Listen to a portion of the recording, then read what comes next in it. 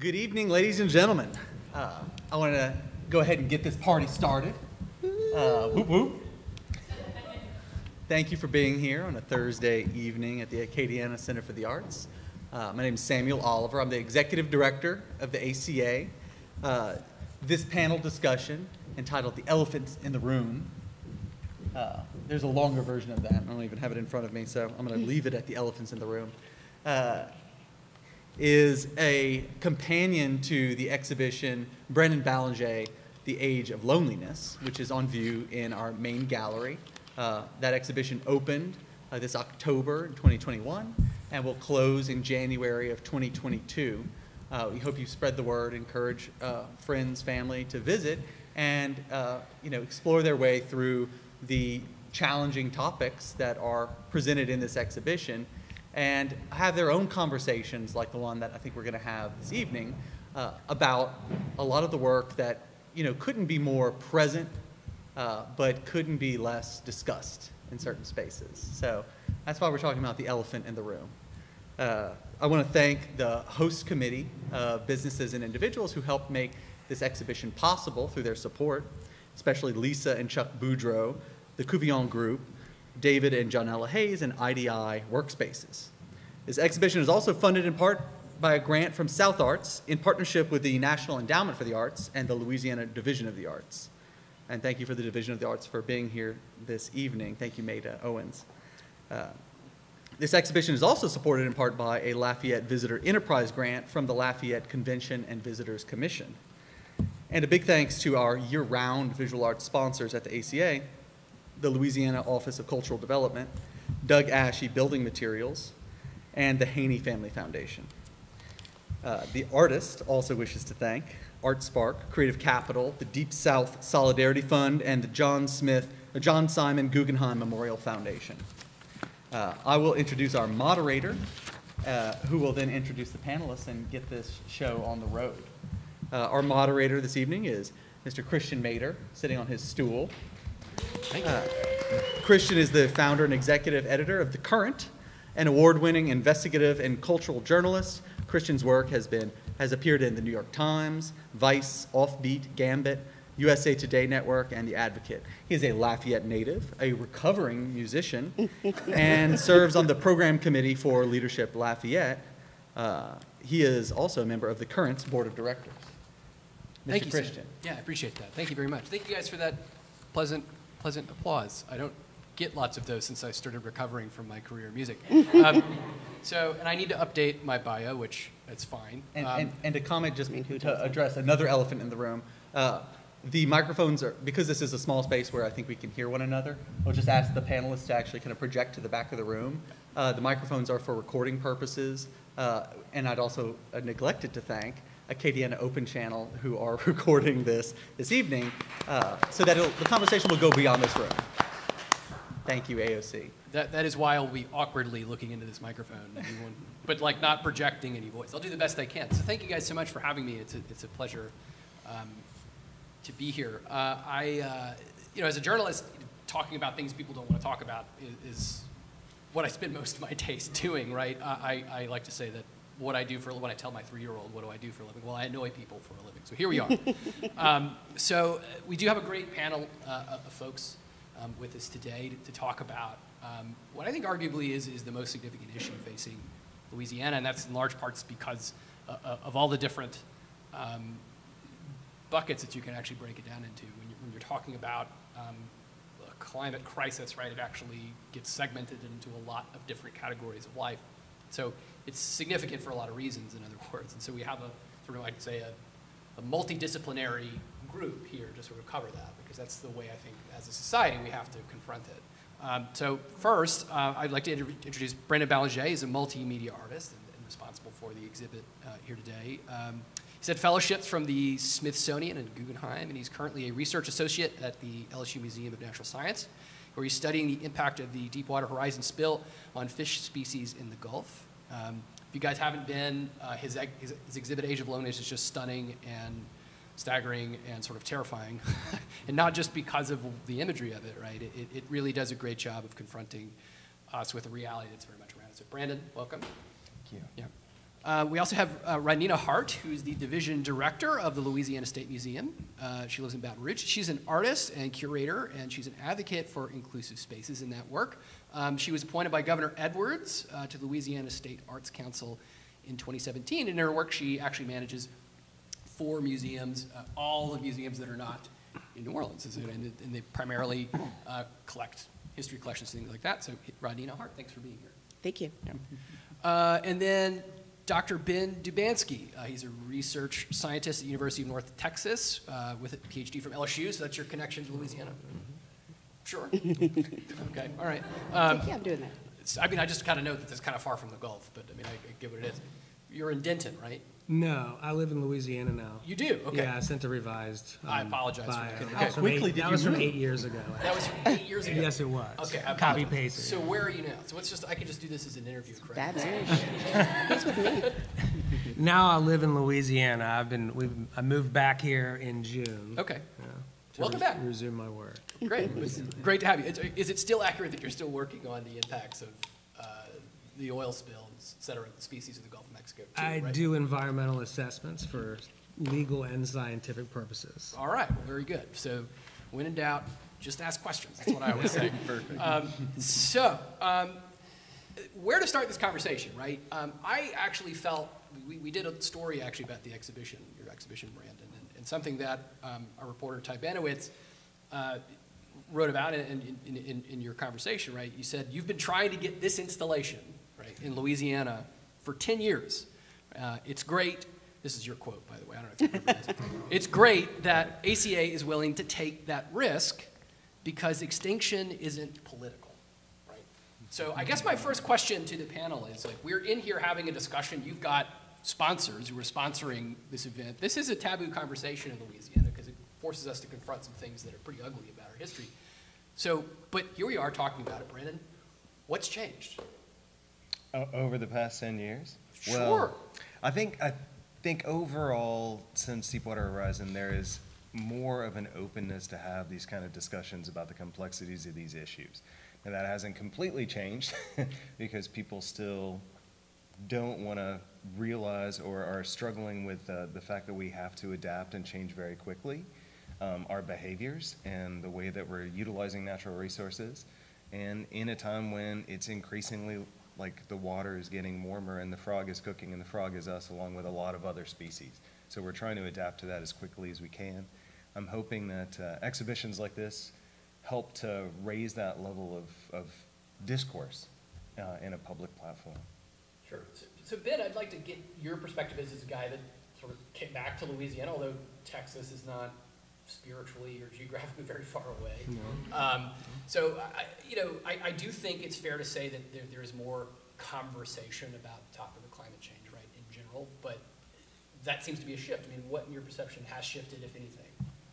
Well, these are all stressors, right? So whether it's the effects of climate change or uh, toxicants in the environment that we're talking about here, it's all stressors on the environment. And from my perspective, so I, I look at how the animals respond to these stressors in the environment, and then we come up with an, a way to um, quantify that for the animals, and then hope that people can see and draw the link if we use the correct models.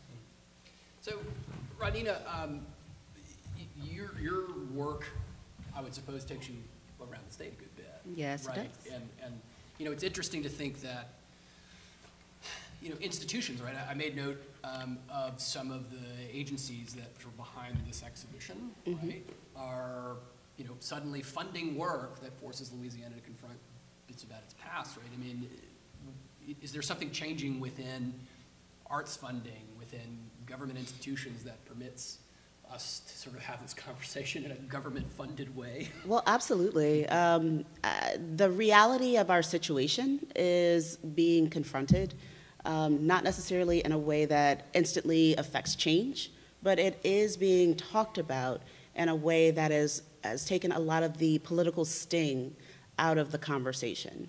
Um, when we're discussing the duality of this exhibition is supported by a, uh, a institution that uh, is reliant on fossil fuels, but also there is an environment that is being directly affected by the pulling of the fossil fuels out of the, the ground, they understand that this is discongruent.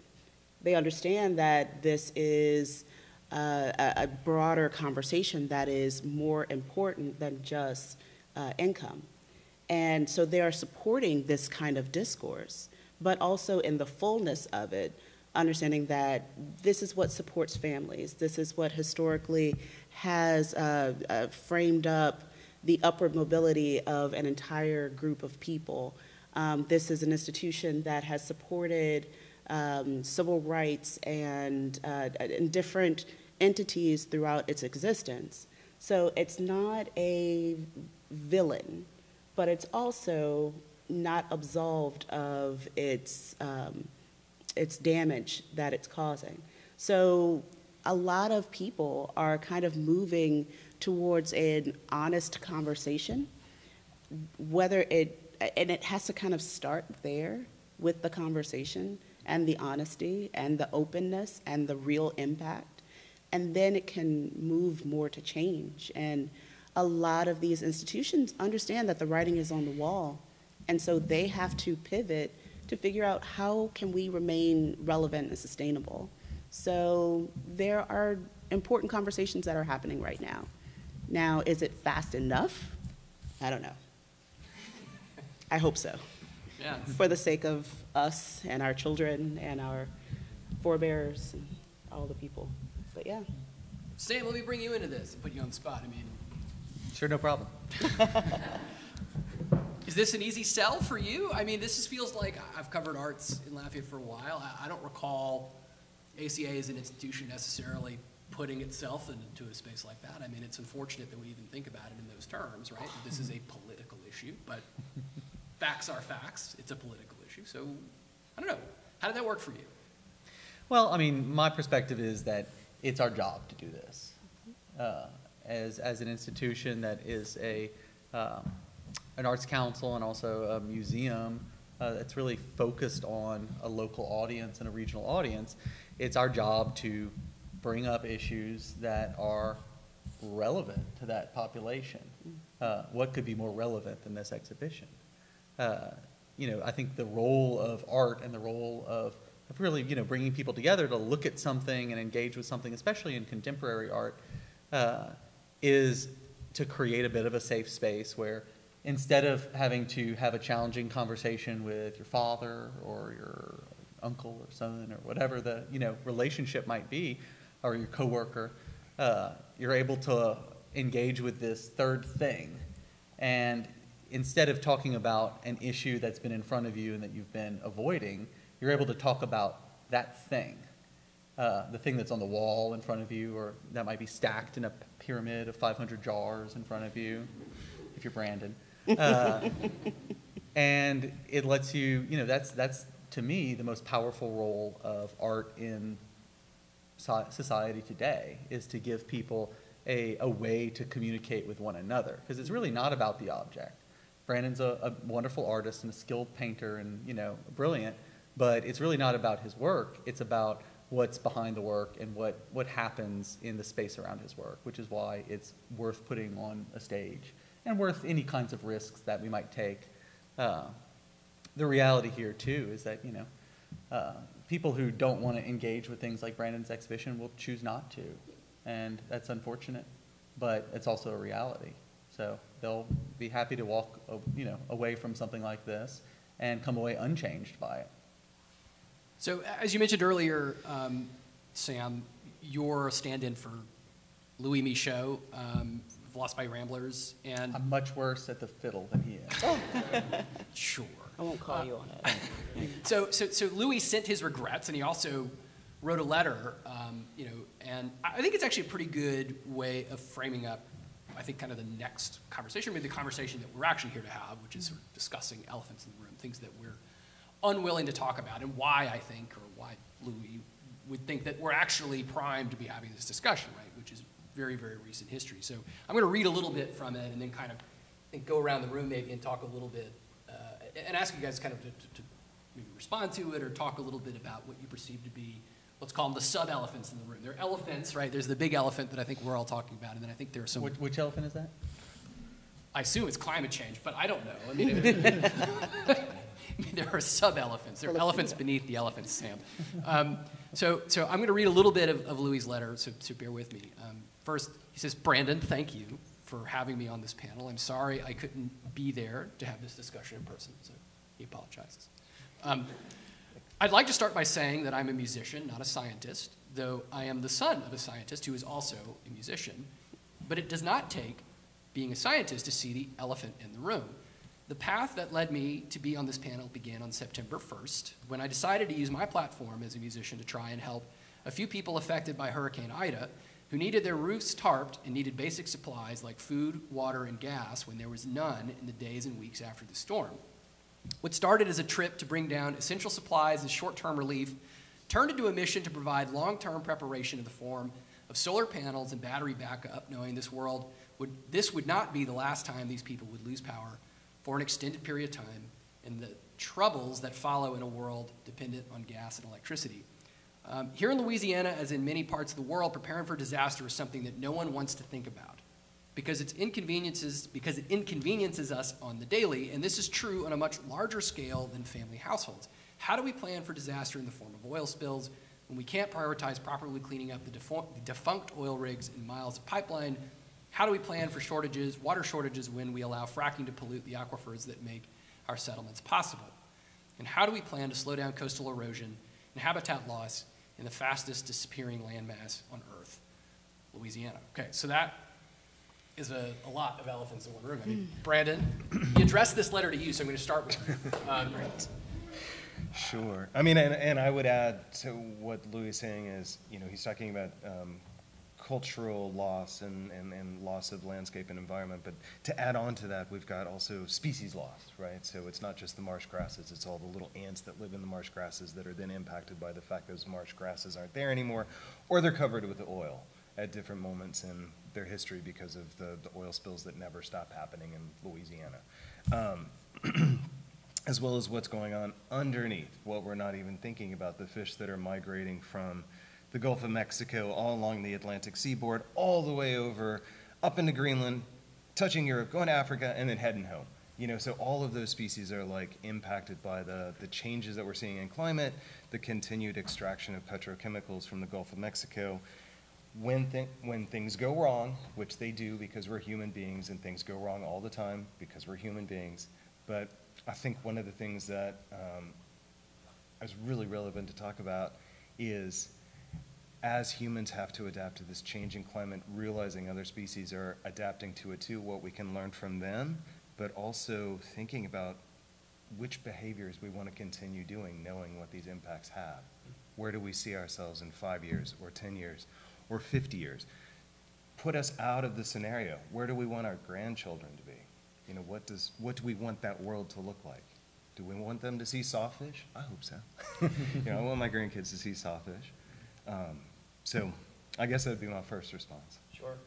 Ben, I mean, I, I'm curious to kind of, given what I, I take to be your research, right? I mean, you- you're probably looking very closely at the very question that Brandon raised, right? The, the, the idea of like how these species are actually adapting to these stressors as they're being put in the environment. And, and I did see some of your work, you know, even looked at, you know, when they're encountering, you know, what I understand to be sort of sublethal levels of oil. Like, you know, in other words, we're looking at this thing, like, this thing didn't kill a fish, right? We may not even see an apparent level of distress, and yet it is under distress. So I'm curious if you could just sort of respond to that. Like, what are what aren't we seeing that's happening out there?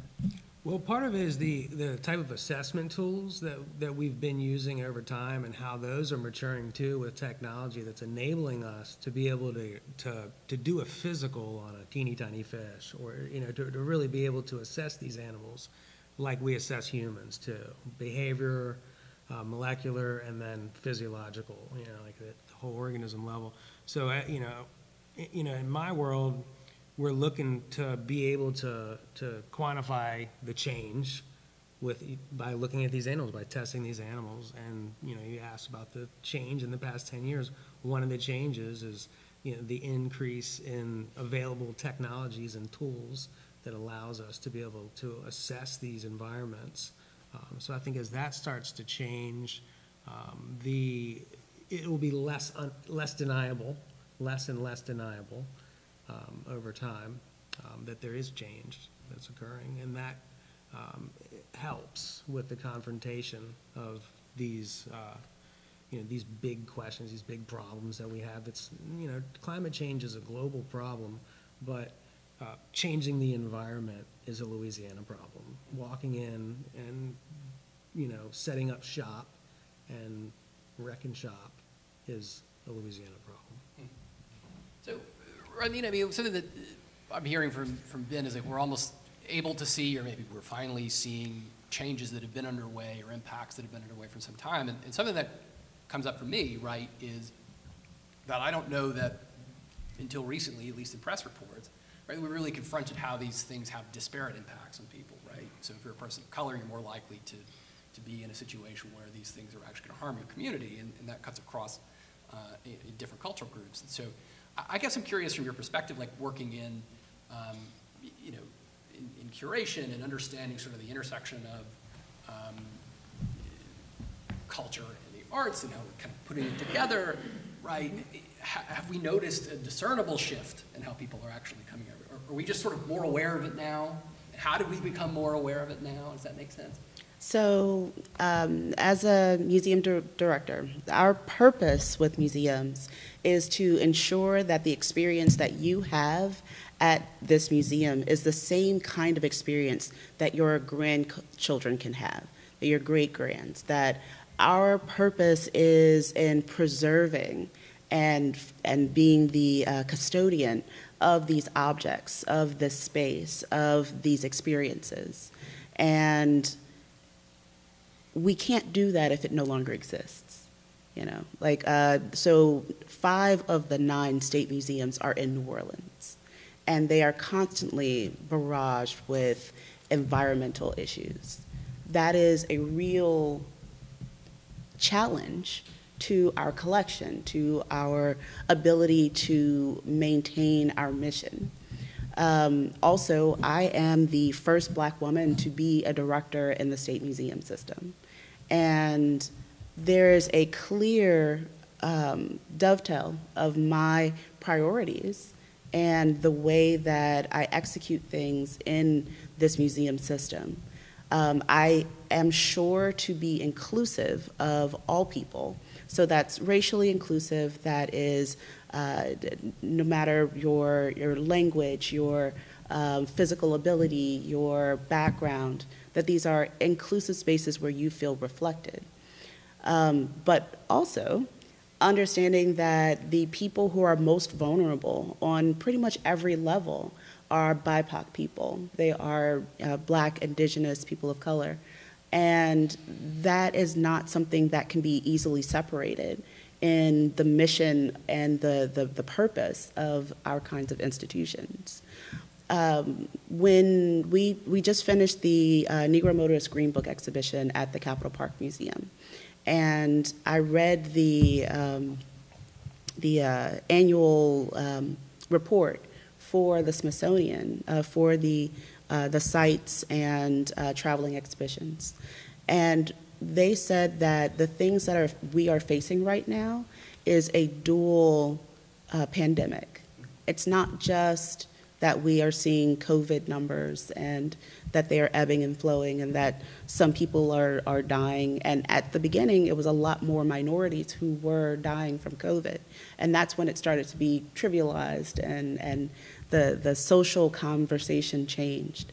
Um, but they absolutely spoke about it as uh, they spoke about racism as being the other pandemic that we are facing.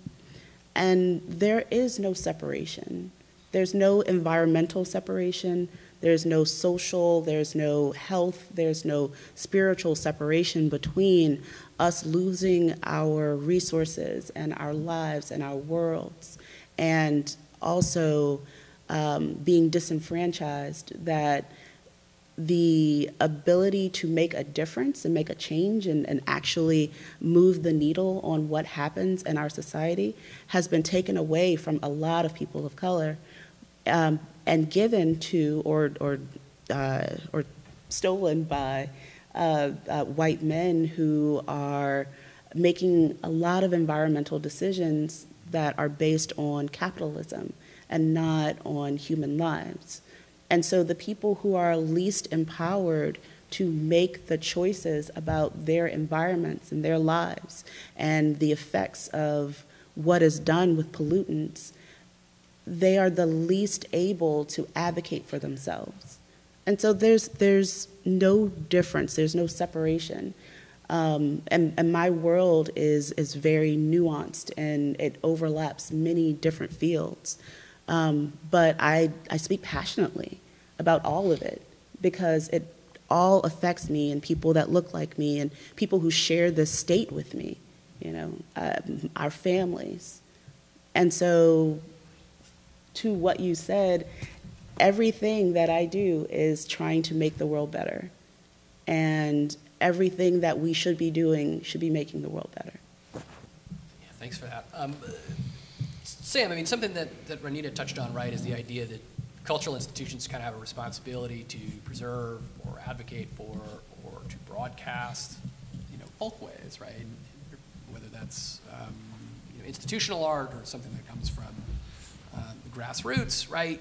Something that's at risk here, you know, as, as people lose their homes, is the very culture that they've expressed for generations. I mean, I don't know. I, I guess I'd be curious to know. I mean, what role does an institution like ACA have in actually preserving that? I mean, I think a lot of people look at this and say, okay, there's the gallery, and the, I'll go see the drive-by truckers there, right? But I mean, to what extent um, is there a responsibility for, for, for institutions to actually like, you know, say, stop, we got to do something here, right? That kind of pulls you out of perhaps like the normal boundary that kind of surrounds organizations like yours.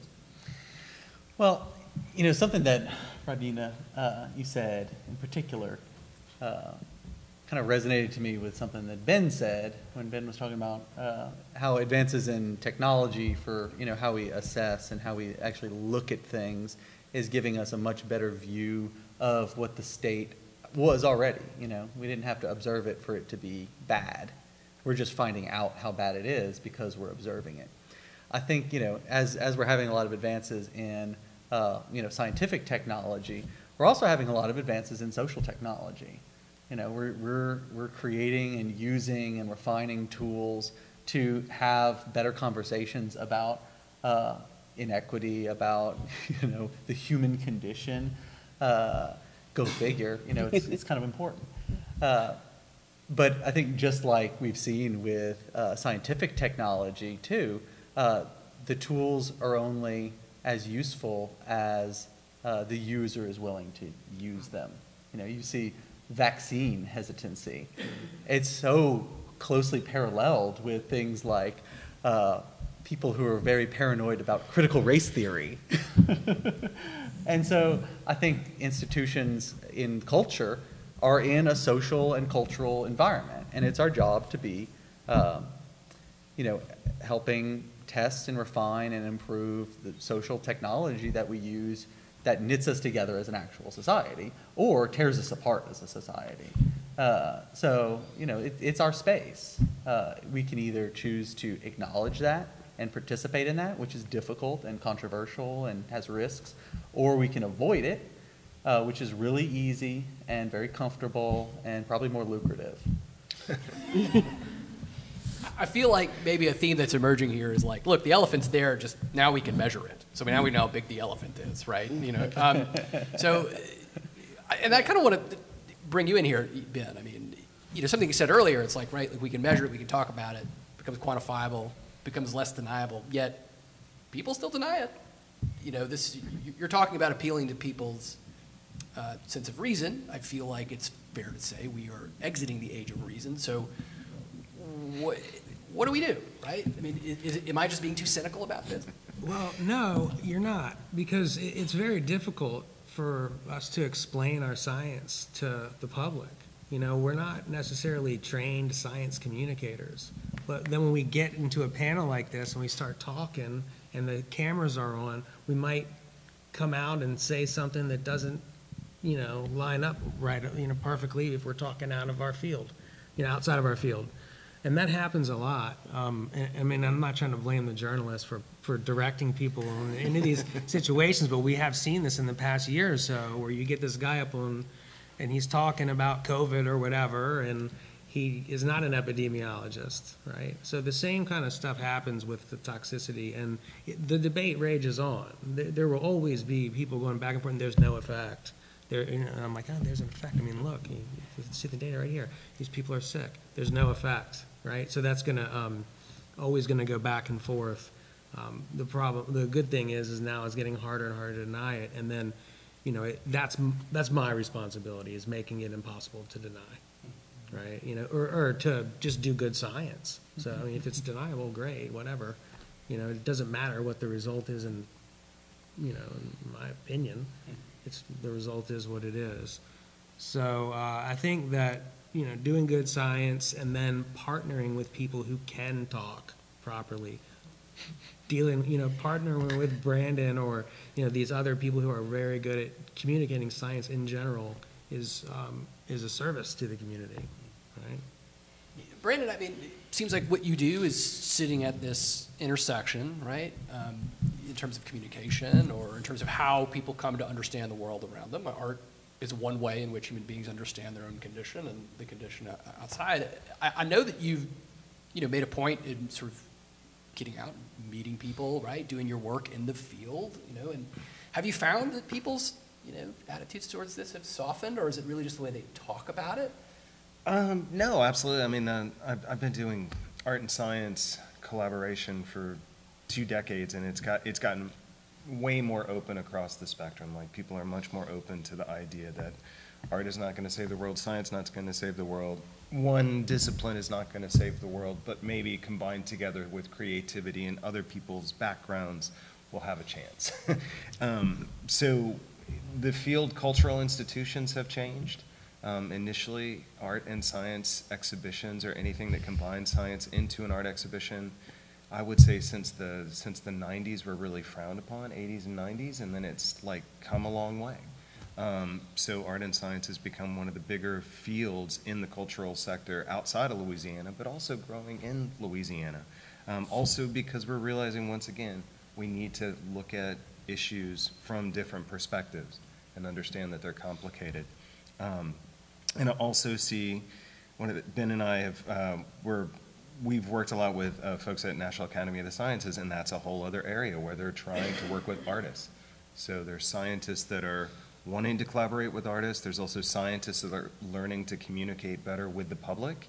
Um, and there's also a lot of artists that are getting more and more engaged with science and, and, and real world issues and want to kind of use the, the creativity and the, the, the tools of communication or expressing, I should say, because I don't think the, the, the role of fine art is not to communicate necessarily. I think it's more to inspire and, and engage questions and then um, maybe curiosity and maybe provoke sometimes, but um, it's not just illustration or something like that. But I think there's lots of artists that are going and digging in deeper in subjects like that, for sure. So this raises an interesting question to me, right? Like if, if maybe uh, sort of the spheres in which this conversation is taking place, the way people are thinking about it, right? Is the academy, art institutions, scientific institutions, I think, fair to say these have traditionally been considered white spaces, right? I think it's you know, criticized that way. Um, this is a different world now in some ways. I mean, Rodneyna, I'm curious, we feel like we're getting to a point now where the, the right people are at the table having the conversation? I mean, at the end of the day, right, kind of the conversation only matters who's actually having it, right? So, you know, are we actually making progress there or no? Of course, there's progress. Um, is there enough progress yet? Probably not. Um, we're moving in the right direction. You know, I'm 37 years old, and they made me a director, and I'm just like, oh, oh, yeah, sure. But there, are, but there are other people in my generation and and nearing that that are becoming the most uh, accountable person in these kinds of spaces. Uh, there are conversations that are happening, and there's evolution of the, uh, the, the role that museums play in the world. Um, at one point in time, we were the keeper of all information. We had all of the knowledge. We sat at our ivory towers and disseminated things and shared with the, the peasants the, the things that we thought were relevant for them in their little lives. That's not the case anymore. We have the internet, like everybody, all the time, on their phone. All information is just out there. So it's important that we are curating things, that we are bringing things to light that, uh, that illuminate untold stories, histories that have been purposely suppressed, um, inaccuracies that we've come with the, the light of time, the, the fullness of time, to understand in a broader, richer, uh, more nuanced way. Like that's the role that museums play now. We no longer um, are, are the keeper of all of these things. So the ego that once existed in museums, um, there's no room for them anymore. And so a lot of the people who needed the ego, who needed the, to be the most important person in the room, are stepping aside because they are obsolete. So we are democratizing museums. We're having meaningful conversations that uh, really lift voices in their own words, and we're engaging. Uh, we're not a top down institution as we once were. It's now a bottom up. How do we um, use our platform to uh, bring light, to bring attention, to use our, our um, audience uh, to bring things that are relevant to our communities? And that's, that's the thing that I am actively trying to do with my institutions is create relevant spaces that have all of the importance and the pomp and ceremony of a museum and an intellectual space and a space that is true and has done the research and can be honest. And that if you read something on the wall, it's because it happened. Um, and it's not just from the point of view of the victor, um, it's sometimes the victim. It's sometimes the disenfranchised person who did not have a voice historically who was written as part of the property of the home, they now have an empowerment. And yes, a lot of these stories are gone. There's so many things that we've just lost. But the intention in resurfacing um, some of these untold stories that somehow have survived is kind of the, the new direction that a lot of institutions are, are having. Uh, a lot of the conversations that are meaningful are not just this is the person who won and they're really cool and they're now on a pedestal in the middle of the city, but this is the person who uh, was enslaved in that home, and the reason that this institution exists was because it was built by the people who look like me. And, so, yeah. And, and if you want to celebrate or, you know, memorialize a, a war victory or something. Yes. Memorialize something that, you know, freed 10,000 enslaved people. Absolutely. Like the Battle of Pinhook Bridge in Lafayette. Yes. Something where there is literally like a little brass plaque next to the Pinhook Bridge. You have Mm-hmm. to be staying in the Doubletree Hotel and be pretty bored to go find it.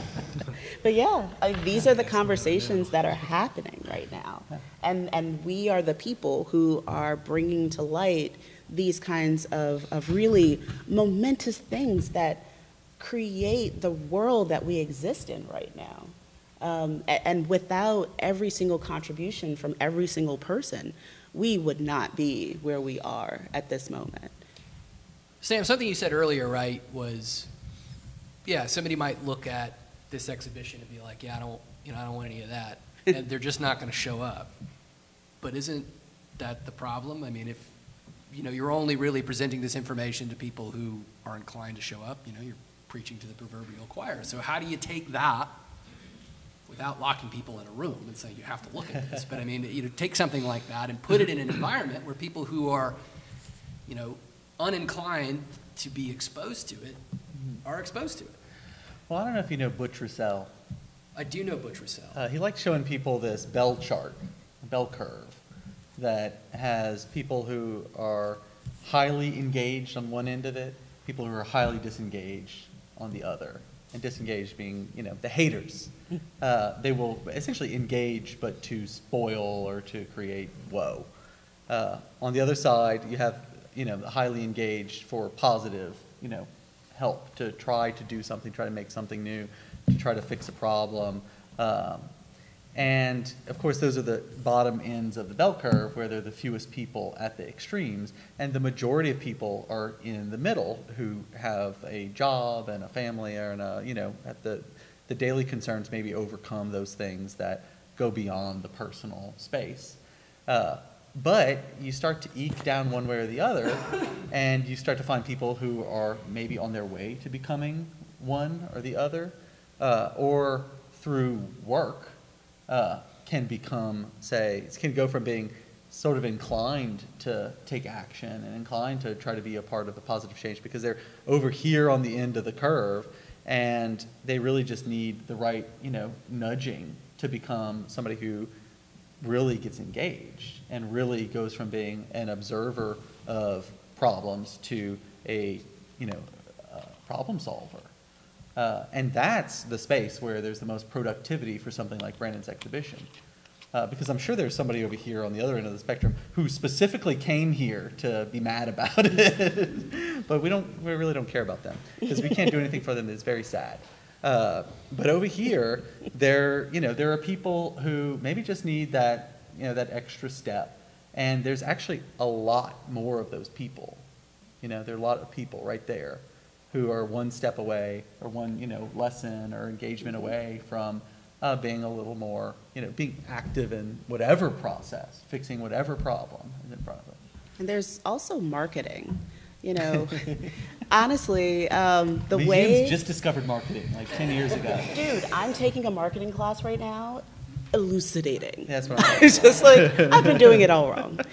But there's marketing. And so for, uh, so if this exhibition were at my museum, in sports magazines, we would be talking about fish species. In uh, environmental magazines, we'd be talking about extinction. In uh, art magazines, we'd be talking about the, the surface and the, the, the texture and the um, medium. It is getting people where they live and, and making it something relevant to them. That's not something that we've always done in museums. We've done more of a buckshot of like, this is what we're doing, it's awesome, everyone come see it. But now we understand the nuance, especially with social media marketing, that if we're trying to bring in a new audience, we need to explain to them why they should care. And having those conversations in a, in a broad way is really moving the needle. Like, I am engaging with lots of brand new people that I'd never met before, and they like that a black girl's running this museum, you know. And then we've got the people who uh, at, at Capitol Park came because it's a Smithsonian exhibition. Um, you know, that's what we played up on our NPR ad. Um, and then on um, the on the surface, we talked about children and the understanding. Um, Exxon was our big sponsor for the, the nationwide exhibition, and they were integral to the production and distribution of the Green Book.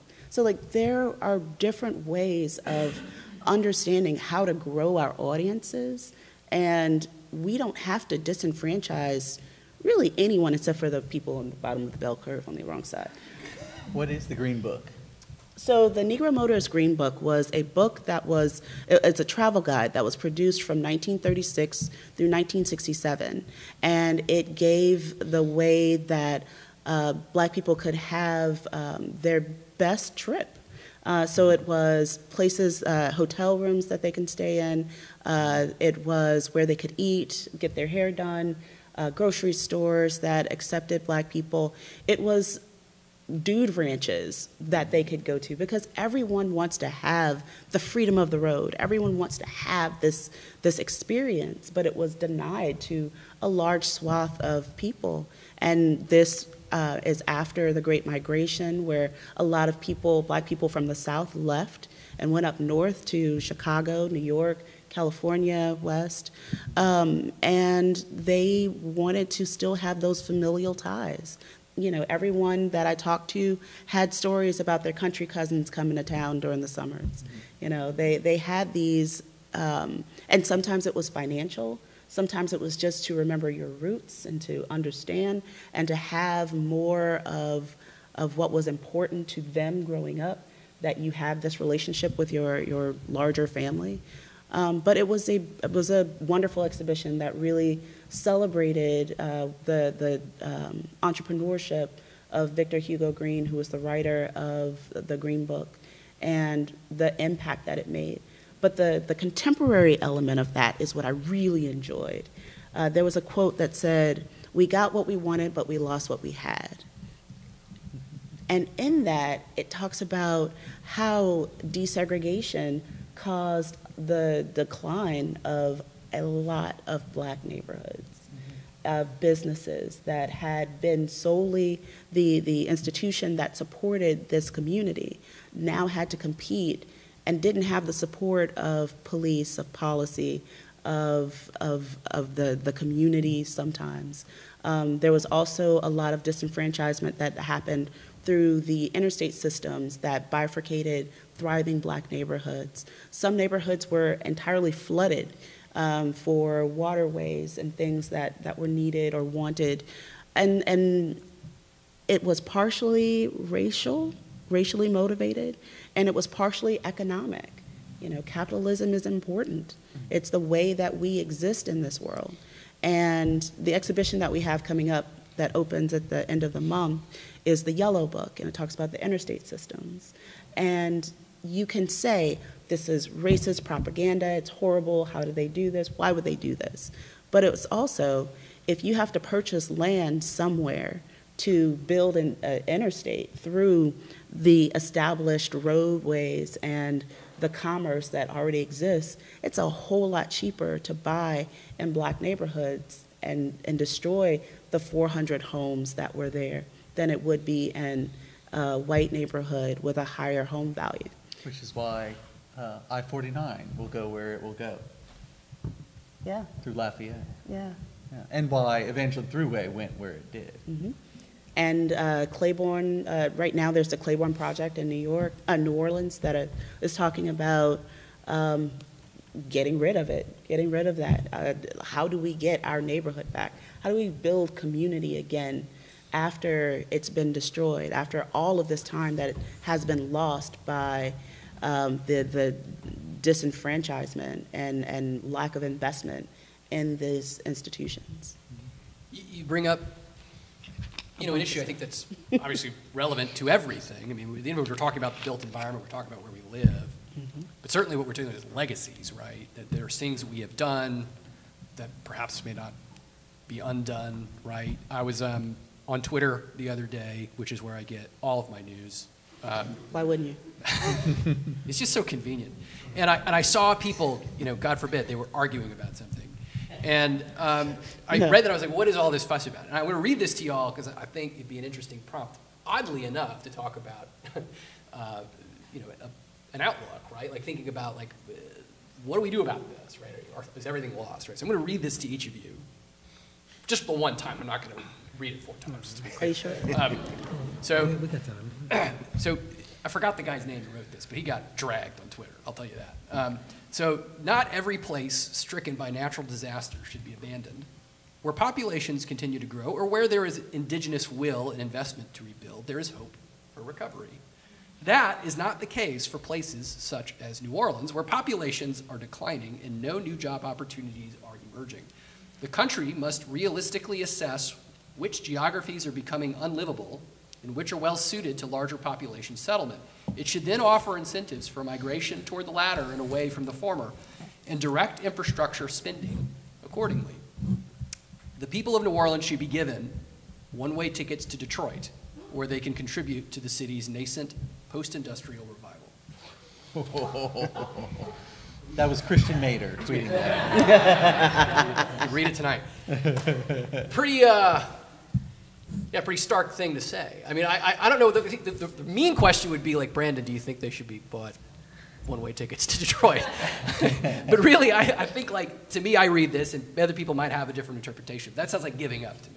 Are you ready to give up? I'm not. I mean, um, coastal restoration works.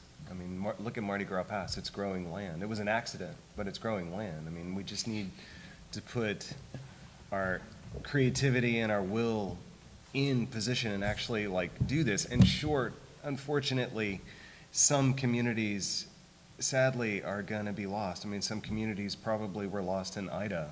Um, It's, it's a sad reality, but there are also communities that over time, I mean, we all know what the Mississippi River used to look like. It doesn't do that anymore.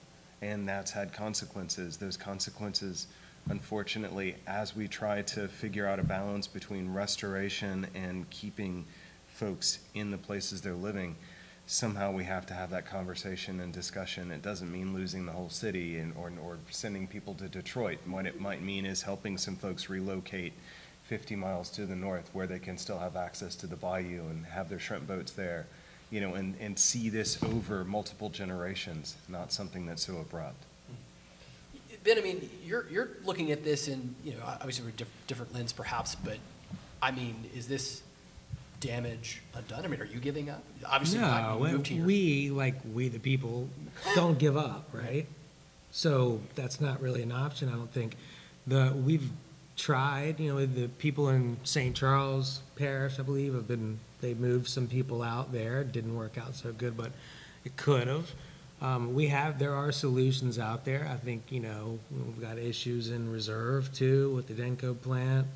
Um, and these are other, the same thing is playing out in Houston too, right? In the, in the ship channel, which was the subject of the last question of the last presidential debate, right? So there's like these disparities that are happening in these, in these areas, these places that we're, we're wrecking, that like Brandon said, you could move out of the zone where you have a fifty-six percent increased chance of getting cancer or, or something, you know?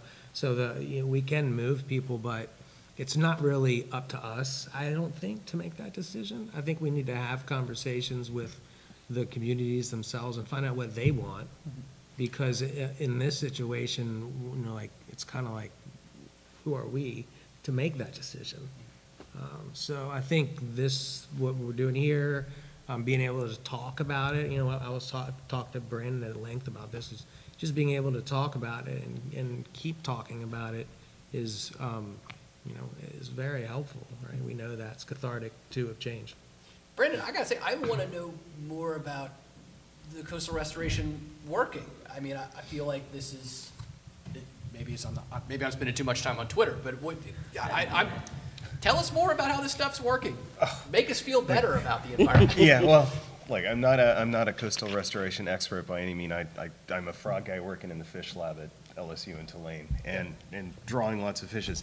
But there's evidence, I mean, Mardi Gras Pass is a perfect example. People can look at that, which is, uh, an area in the east bank of Plaquemines Parish, um, below Phoenix, um, where land is growing, where it's, it's the one part of this, like, southeastern Louisiana where land is actually growing, right? So land is also growing. Lauren's here. Maybe you should talk about it. Okay, not to put you on the spot, but we actually have experts in the room, and I'm not. Um, She'll leave by the sangria keg after the, yeah, absolutely. But I mean, the, I think the, the larger question is not necessarily about that one particular type of science and engineering which is going to allow land to be reforming, but it's about an overall cultural adaptation to change and rapid change and trying to figure out what, what's that, what is that going to look like? You know, historically, other coastal cultures have adapted to change. What can we learn from those prior indigenous cultures? What can we learn about the species that are adapting to new? God, And this kind of ties back to talking about population shifts, I mean, in particular, but, you know, we've talked about it, Brandon, about it being a, a fast and slow process. It, you know, it is continually happening. There's a, a beautiful and devastating documentary called Water Like Stone that's about Leeville, Louisiana. Uh, and it's not about a storm, it's about a hundred years of history of the town and how it has been, you know, sinking. Well, water levels are rising, land is, is not being replenished. Uh, and it's just a portrait of a number of the townsfolk, the oldest person, the youngest person, people in between, uh, the sports fishermen who, you know, have a camp there, the people who are, you know, the last person to have been born in that city, or city, you know, village. Um, and there, you know, that's a slow story. That's hard to see day to day. And then there's the fast version of the story that looks like Hurricane Ida, uh, that looks like Katrina. And it was a conversation we had with uh, Maida Owens, again from the Division of the Arts, the state, about, you know, this is, this is happening. Uh, you know, Hurricane Katrina is happening again, right now. And maybe it's five times bigger than that in terms of the population that was permanently displaced. 100,000 people never came back to New Orleans. Uh, 50 years from now, how many thousands of people will not come back to their homes specifically or to the state of Louisiana potentially uh, from small events and large ones? So I think it's the, it's the scale of it, or it's like the, the slow motion version of it, as the elephant is just like very, you know, gets, it's one percent bigger every yeah. year. And then in fifty years, you're like, oh, we're being crushed by this thing. But Of course we were gonna be. we can only retreat so far. You know, there's only so much land that we can lose and continue to step back and step back and step back.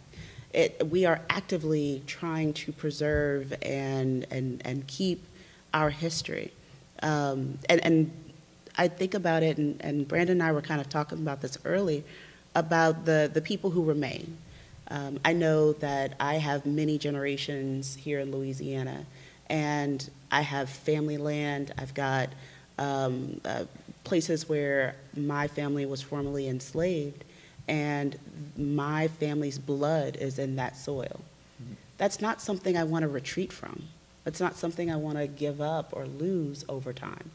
And it's where it may not be uh, according to the, uh, the formula that someone may use to say that you can stay here, it's too expensive to continue to rebuild you, to, to preserve your life where it is.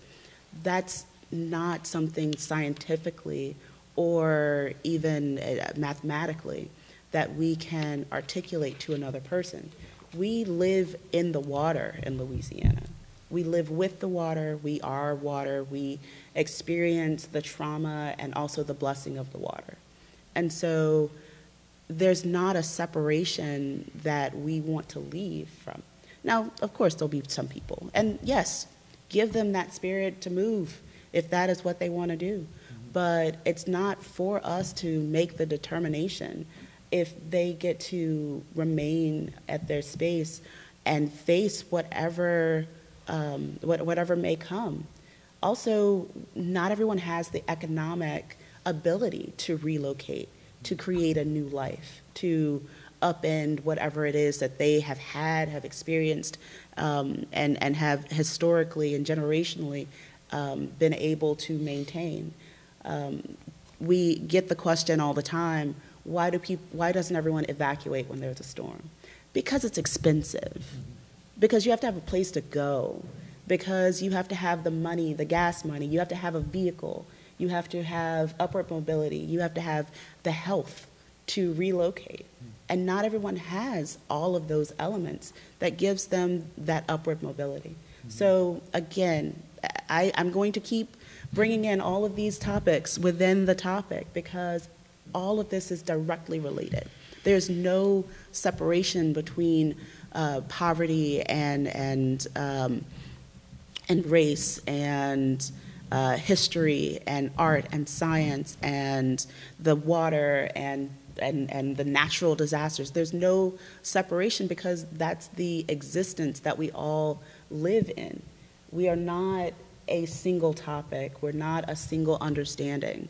We are every single element and everything that happens to us, everything we do, everything we are is directly tied to our life, our land, our understanding, and our appreciation for what we can do and what we have done in the past.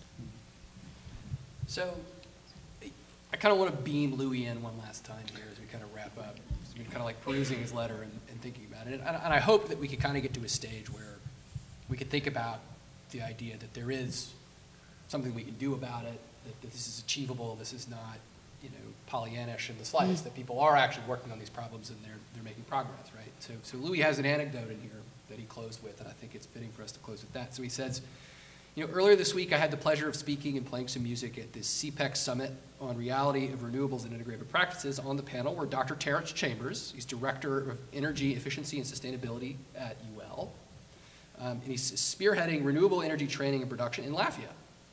Jason Beckfield, professor of sociology at Harvard, and a guy named Mayor Terry Wycombe, who has successfully implemented a large-scale wind turbine, uh, wind turbines in his community of Rawlins, Wyoming. What really struck me about Mayor Wycombe, and I'll close with this, is that he was able to navigate his community's skepticism of renewable energy and rebuild his economy in doing so.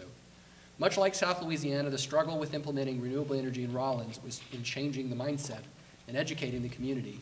He was initially met with resistance, but once people saw their economy start to grow, uh, new jobs created, and landowners who, whose property the wind turbines were installed on suddenly able to uh, afford a new house and a new car, much like the recent past here in Louisiana, people quickly warmed up to the idea. Mayor Wycombe proved to his community that moving forward in a more sustainable manner does not mean having to lower our standard of living, and that the sooner we embrace diverse energy production, the better off we'll be economically and environmentally. So, I will leave this to you guys, to, to- to you. I mean, any last words, Brandon? Well, um, I met Louis when we were down uh, at Grand Bois doing hurricane relief uh, a few weeks ago. And one thing that really struck, and we talked about it, is the houses that had roofs were ones with solar panels. So unfortunately, back to this idea of socioeconomic challenges, I'm sure those folks, maybe there was an incentive. There used to be federal incentives and state incentives to have solar panels installed on your roof. Hopefully, that's something that uh, we can vote into being again, you know? That, but that idea, it was amazing, and I saw it again in Houma, and I saw it again um, in Plaquemines Parish. For whatever reason, those solar panels, not only did it help people immediately after the fact when they lost electricity for weeks, it literally helped keep their home together. Ben, final thoughts? Um, I think we need to continue these kind of conversations. I think it's nice to be included, you know, have scientists included in this kind of discussion. Uh, and I like to see this, I like to see more of it. Rodneyna? Support your museums, become members, be invested in your community, put a ring on it. Put a ring on it. Define your relationship with the museum. I like. Absolutely. I mean, or else they will not survive. They will go away. Sam? Uh, My final word is a, a short story. Is that all right, Christiaan? You, you own the place. It's owned by the city of Lafayette, people of Lafayette. Thank you, citizens. Uh, but in a, a conversation we've had around this is, you know, what can you do? Like I said, you know, if, if it's a slow motion Katrina that's happening, uh, it's happening. We can we can see it. We can observe it now, culturally, scientifically, in many ways. But if you knew it was going to happen tomorrow, you could do something you know, as opposed, or, or three days from now, or a month from now, or a year from now, or 10 years, or 20, uh, you could do something.